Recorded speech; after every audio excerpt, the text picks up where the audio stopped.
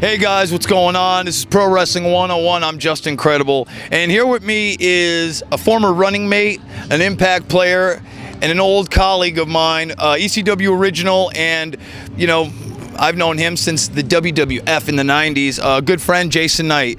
Jason, we've seen it all. We've done it all in the business. Um, you know, pretty much, uh, you know, I want to kind of get your opinion on, you know, for the young guys trying to get in right now, like, the respect thing, something that we had to, you know, when we were coming up, man, there was we were brought up, broken in, as they say it said then. Listen to just the term, broken in. You know, um, old school. You know, and uh, kind of, you know, what do you what are your feelings on respect in the business, and kind of how unfortunately a lot of the locker rooms and the kids coming up today have broken away from that. You know, uh, in 1977, I found a wrestling gym and I trained there for a few years. And we did small little club shows and what have you, you know. I wanted to get licensed. Now, little did I know that, you know, you needed someone with that commands respect in the business in order to actually give you that letter of recommendation so that you would go to the New, uh, New York or New Jersey State, State Athletic Commission and actually uh, get licensed to be a professional wrestler. Well, I found Johnny Rodz. And uh, as I watched him as a kid on television, you know, doing what he did, an incredible wrestler and everything, and always, you know, they say a mid card or whatever. Later on, as uh, the years went by, you know, I met a lot of wrestlers, you know, that are on including Dusty Rhodes. They were like, "Oh, Johnny Rodz, man, let me tell you something." You know, we all had. See, the thing is. Um, back in the day when you say broken into, you know, thankfully I never really got broken into, you know, but I got bent into. Uh, meaning that I never showed the level of disrespect. I mean, I knew from the very beginning, you know, pretty much, you know, thankfully I opened my eyes, you know, stepped back and looked at the big picture and kept my ears open and my mouth shut, you know. Now, the thing is that, um, you know, homework is a very, very important thing to do if you want to become a professional wrestler, you know. Uh, I I will never by any means put down what I uh, well I haven't seen wrestling on TV in a long time, but you know what they what they try to uh, pass off as wrestling on TV. You know, uh, I'm not putting it down. It's not what it used to be. Uh, the whole thing is that the young generation needs to go backwards and watch guys like uh, Killer Karl Kox back in the day, and Eddie Graham, Mike Graham, Steve Keirn. We're talking, you know, Purple Haze and Kevin Sullivan, and you know the old. I mean, uh, uh, Dusty, those guys, the Funks. These are the men that paved the business for us. They paved the road that which we walk upon. And guys before that, you know, Gotch and them, you know, they paved it for them, you know, which in turn, you know, here we are today. Now, you know, I've been doing this for you know something over 30 years now, so uh, it's it's a hell of a lot longer than five or ten. Yeah. And what I see is that um, a lot of the young wrestlers today, and you know, young meaning you know. Um, under 20 or 15 years in the business, to me, they're young, yeah. you know. And um, the younger generation, under 15 or 20 years have absolutely no clue on how to, um, not all, but many, how to behave in a locker room, how to uh, behave around your elders, and even just to ask, excuse me, who the fuck is that guy yeah. over there? You know, even, you know something like, that nobody. Excuse yeah, me. No, no. Just, just, something as simple that nobody does is wipe their feet when they go into the ring. They go in the, the ring, ring is exactly. your, you know what I mean? Exactly. Uh, it's just little sure. things. Yeah, the, the respect level for the business. Yeah. You know, they, they they walk in. You know, they pass wind.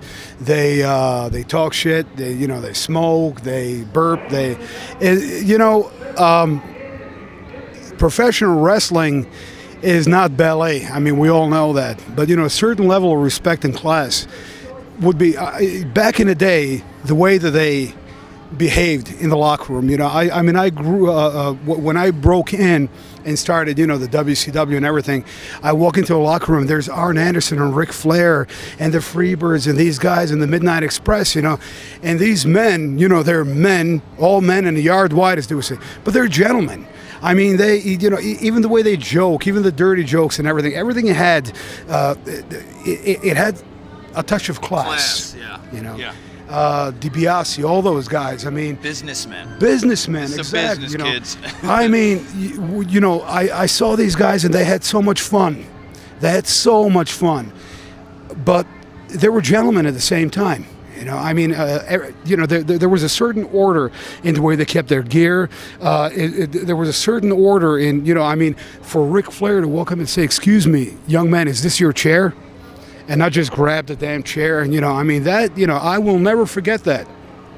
Uh, those are my first impressions of the true professionals, you know. And what I'm telling you right now is, you know, you can't just walk in and, you know, off the street, you know, uh, uh, pretty much, you know, around the corner from your job in a gas station, you know, and, and walk in and behave the same way. I don't care if all after, if all from the morning till the afternoon you worked at a gas station, uh, pizza parlor, anywhere, but once you walk in through the doors of that locker room, you're a professional wrestler and you behave like one. Meaning, everything goes right along with it. You know, meaning the way the way you uh, uh, the way you uh, groom yourself, the way you carry yourself, the way you dress, um, the way you train, train, working out, Yeah. training. Know what that is? Training, working out, gym, cardio, weights Yeah. in the ring work, not just walking in and you know putting on a pair of shorts and wrestling, you know. And I'm not trying to put anyone down, but I see too much of that, and you know, and that is so disrespectful to our business. And you know, some of us like him and I, we're still here to stay, you know, and uh, God willing, you know.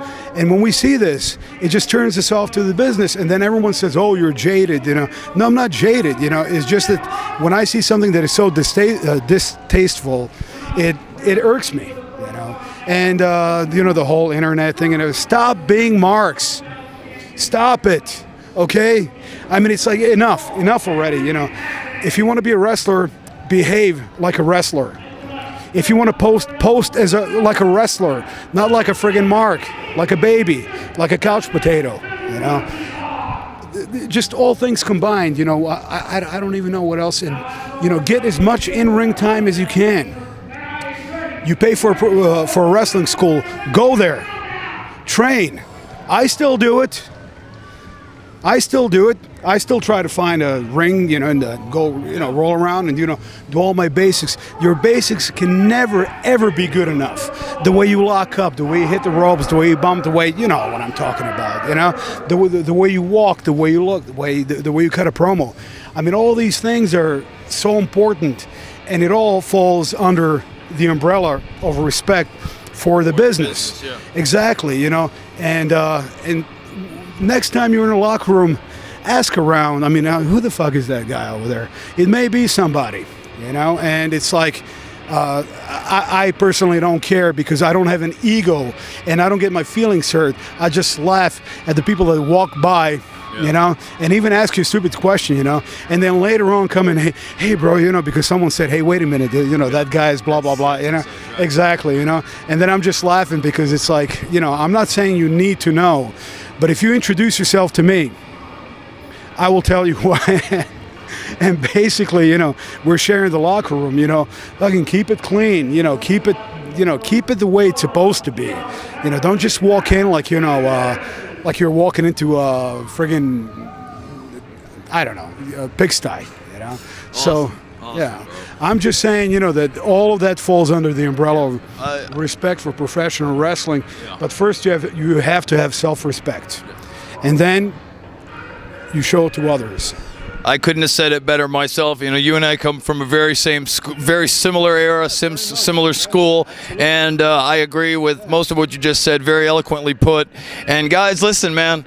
This business was handed down to us by the greats. We need to preserve it. It's our responsibility to pass this on better than you know we got it. And you know, I it's it's arguably being done. So guys, this is Pro Wrestling 101. This is Jason Knight. I'm Justin Credible. Thanks for watching. We'll see you next week.